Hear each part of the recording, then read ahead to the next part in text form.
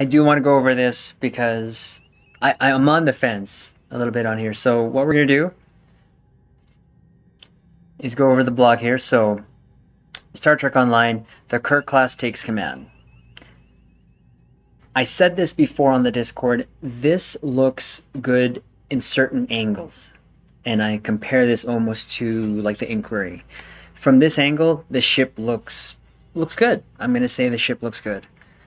Um, but there are issues that I have that I probably just need to get over in my head. We'll see. Uh, so let's go over it quickly. Again, this is the Kirk class.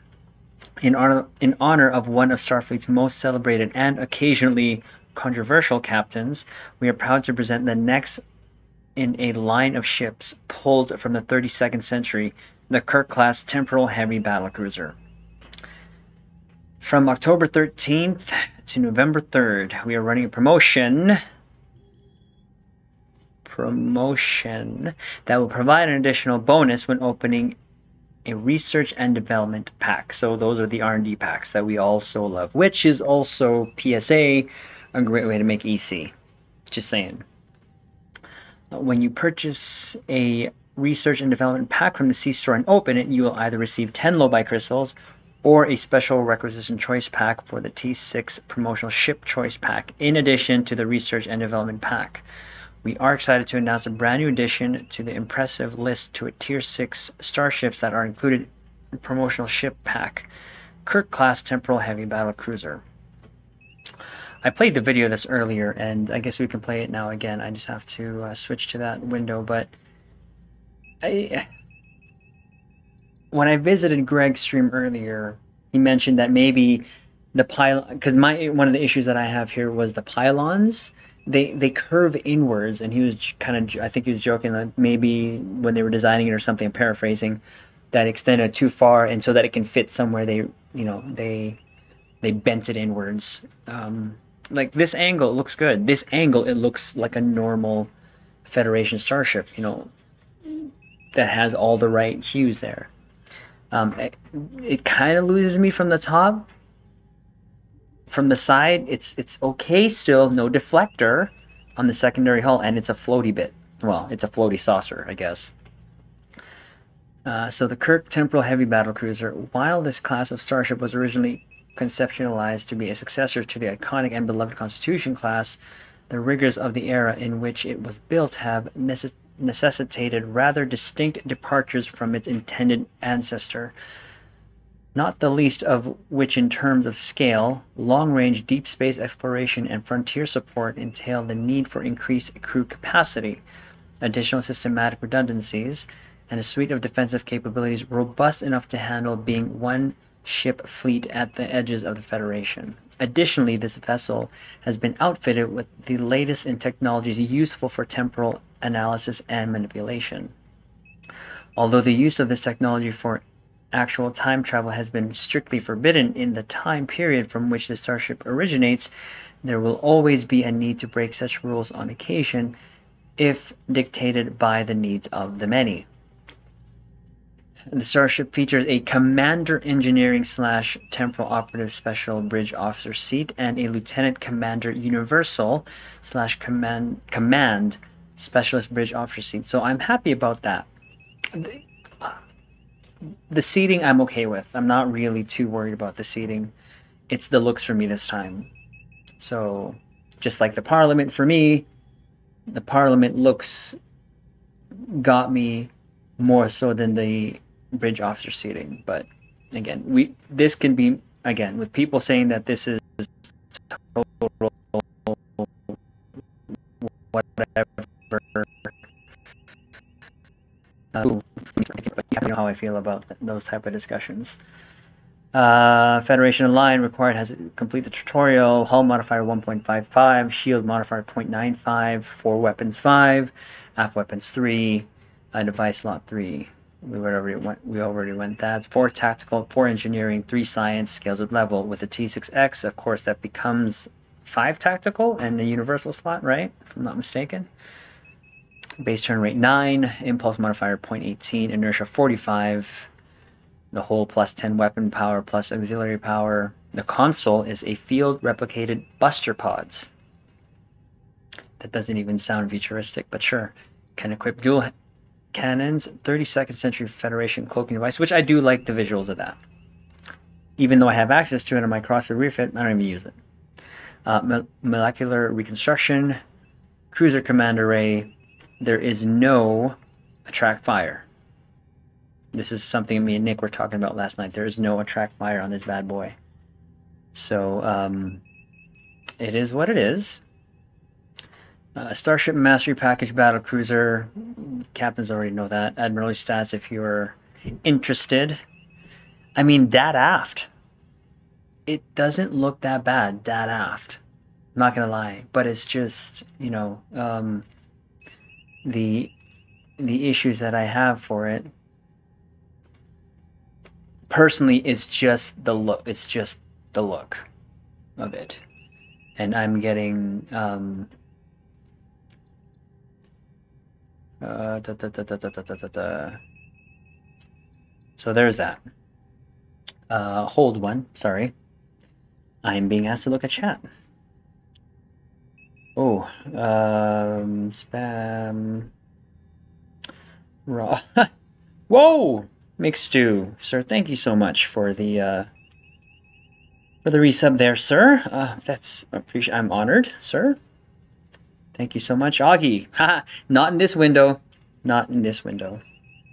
He doesn't have sounds on. No, I don't. Not in this window. and often he's reading a blog. Try you're not going to be able to get high yield 3 on that ship. You're absolutely right. Uh, we shall wait then. Make our move. Easy President Afmat. Well, yeah, I do. Actually, never mind. You're not showing the screen. Um, Augie so yes, you're you're right. Not going to have access to high yield three. So having said that, on the Parliament, again, are we at a point where even 1.3 is something to sneeze at? I didn't have access to high yield three on a Parliament, but I was being fed CFs, and I, what I did with the Lieutenant Commander, uh, Lieutenant Tactical was uh, dispersal mine beta, and then high yield one and then the other tactical station was just Fa, I think, Fawn Scatter Volley. So in a supported run, it did 1.3. In a competitive DPS channel style run with a tank and a um, control, it did anywhere between 300 to 400. So again, is that something to sneeze at? It's not the best ship, but mm, for me, I'm not worried about the seating this time because it has command regardless, so I'm happy. Concentrate fire, concentrate fire, power three, yay. Um, but yeah, so it's the looks this time for me. It's the looks. So, Buster Pods. this specialized set of industrial replicator arrays are pre-programmed for maximum efficiency. When activated, they quickly create a series of devastating kinetic weapons nicknamed Buster Pods. Each pod is outfitted with a miniaturized impulse drive capable of a single quick burst of FTL travel uh, before they burn out and fail catastrophically. Onboard targeting suites provide the Buster Pod with rudimentary self guidance protocols, allowing each one to choose an appropriate enemy target to aim at before activating its strategic failure. It just sounds funny to me. It will jump toward the designated target, dealing massive kinetic damage to each foe it impacts along the way, then violently expire once reaching maximum combat distance, once more dealing kinetic damage to enemies in the range of the final detonation. This console also provides a passive bonus to all damage resistance rating that increases as remaining shield capacity depletes. shield shield capacity? What is shields here? in this game. That's hilarious. Starship trait Risk Is Our Business. Activating a captain ability will grant you a stacking amount of temporary hit points per foe within 5 clicks. Additionally, if threatening stance is active, which should be on your spam bar if you're in a tank, just saying, this will also generate a large amount of threat toward nearby foes, further encouraging them to attack your vessel. In addition to this a new starship opening the special requisition choice pack, Tier 6 promotional ship choice pack will give the recipient a choice of any Tier 6 ship found in any previous R&D or duty officer promotional pack.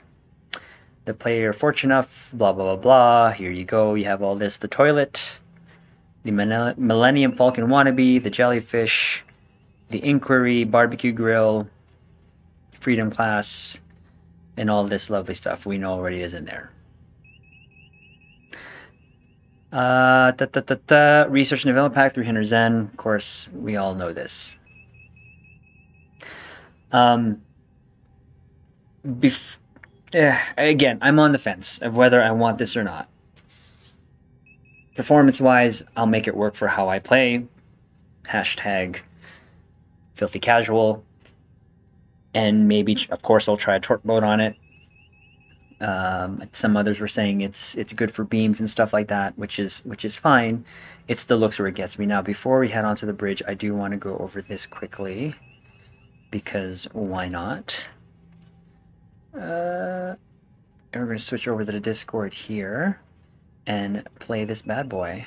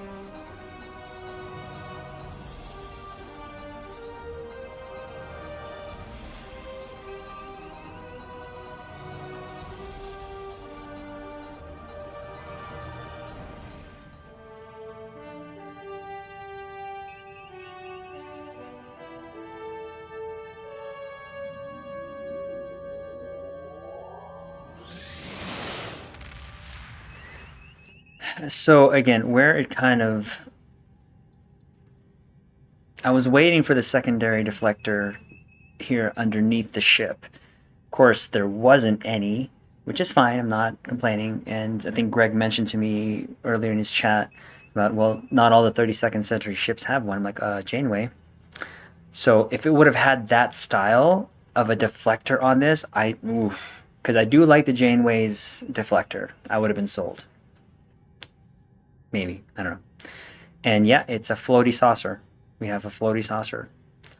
Um, again, this has some really good angles on it. Like this pass by shot, oh my gosh, that was that's that's a good looking shot. I'm not going to deny that that's a good looking shot. The aft, nah, meh. The nacelles kind of lose me here with all these whatever these are inside. But again, futuristic, I get it. It's the pylons that I have the issue with being like kind of curved in. If they would have just extended straight out, I would have been. That probably would have been a and keep the nacelles orientation the same. I'd have been good, because from this shot, from it coming at you, that that looked really slick. I really do like that look of it coming at you. The saucer is designed really well. I, I like all these like kind of uh, structural struts or whatever, even the bridge kind of hovering over that middle spot there. Um, I would have just wanted the pylons to be straight. So that's just my issues with it. So anyways, I just kind of wanted